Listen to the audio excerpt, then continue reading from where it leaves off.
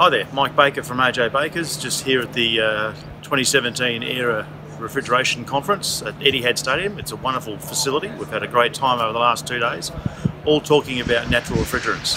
It's been great to spend a lot of time with like-minded people in our industry to talk about natural refrigerants. We've come a long way at AJ Bakers. We're now up to 300 Cascade uh, HFC CO2 134A plants and we're now on to our 10th transcritical CO2 supermarket store in Australia. All over the country, trying to understand what is the best transcritical super, uh, supermarket uh, design we can use going forward. It's great to be able to share our information with other customers here as well and other suppliers and we see that that's the future of in the industry in this country. CO2 is going to be the, uh, the way to go and we're here with everybody else to make sure that it happens.